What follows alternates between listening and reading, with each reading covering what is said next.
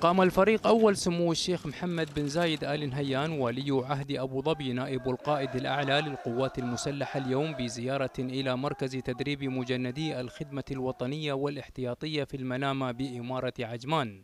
رافق سموه خلال الزيارة. سمو الشيخ نهيان بن زايد آل نهيان رئيس مجلس أمناء مؤسسة زايد بن سلطان آل نهيان للأعمال الخيرية والإنسانية. وعدد من كبار قادة القوات المسلحة والمسؤولين. وخلال الزيارة التقى سمو ولي عهد أبو ظبي أبنائه الملتحقين بالخدمة الوطنية والاحتياطية وتفقد برامجهم التدريبية واطلع عن كثب على مستوى ما تلقوه من تأهيل وما اكتسبوه من مهارة ميدانية. ونقل سمو ولي عهد أبو ظبي خلال لقائه بالمجندين تحيات صاحب السمو الشيخ خليفة بن زايد آل نهيان رئيس الدولة حفظه الله لهم واعتزازه بتلبية شباب الوطن لنداء الواجب. عيال بلادنا أدرى بالمسؤولية اللي عليهم. وهم اليوم جيل جديد آه، يخدم في مجال آه، أمن واستقرار دولة الإمارات. آه، اللي يهمني في موضوع عيالنا وبلادنا أن الاهتمام والحرص على إتقان عملهم اللي يقومون به.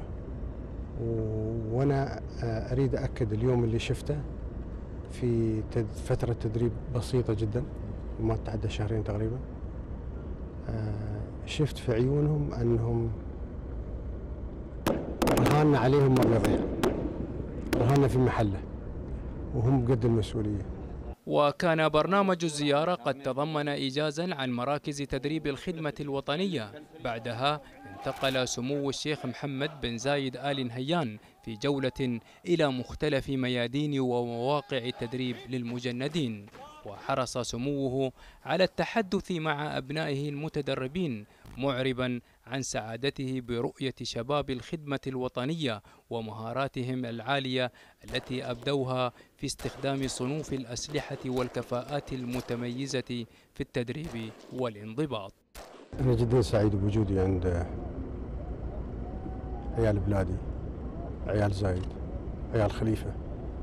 الله يحفظهم.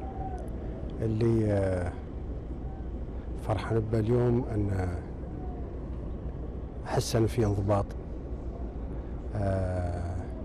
شفتوا منهم معنويتهم عالية ومتشجعين.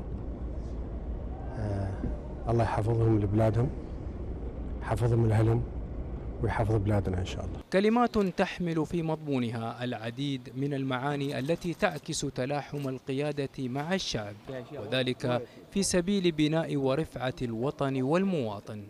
وفي نهاية الجولة قدم سموه. الشكر إلى كافة المدربين في ميادين الخدمة الوطنية والتقدير والعرفان للأسر والأهالي لوقوفهم المشرف خلف أبنائهم داعمين ومشجعين. مثمنا سموه دور الجهات الحكومية والخاصة التي تفهمت ودعمت رؤية الدولة بشأن تطبيق الخدمة الوطنية لموظفيها فهم شركاء العمل الوطني.